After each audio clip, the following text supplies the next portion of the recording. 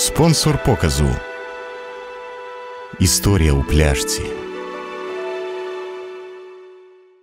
На Тернопільщині від удару струмом постраждало двоє людей: пенсіонер та його дружина. 68-річний чоловік загинув на місці інциденту. У поліції повідомляють, що загиблий працював з циркуляркою, і в якийсь момент його вдарило струмом. Це побачила дружина і спробувала врятувати чоловіка, але також знепритомніла від удару. Знеструмив прилад онук, який був поруч. Даний факт слідчі внесли в єдиний реєстр досудових розслідувань з приміткою нещасний випадок. У селі Швайківці Чортківського району виникла пожежа господарської будівлі.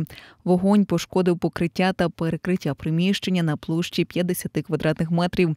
Пожежу рятувальники ліквідували під час гасіння врятовану господарську будівлю. Причина виникнення пожежі та її матеріальні збитки встановлюють спеціалісти. Жителька Тернополя перерахувала шахраєві понад 16 тисяч гривень за вікна. Як з'ясувалося, потерпіла на одному із сайтів, знайшла оголошення про надання послуг із виготовлення та встановлення металопластикових конструкцій. Вона зателефонувала за номером, вказаним у дописі, та обговорила умови із виконавцем. Невдовзі додому до тернополянки прийшов чоловік, який зробив заміри. Після чого жінці у меседжер скинув договір про виконання робіт та рахунок. Жінка перерахувала понад 16 тисяч гривень, проте вікна їй так і не встановили. Із заявою про шахрайство вона звернулася до співробітників Тернопільської управління поліції. За даним фактом розпочато кримінальне провадження.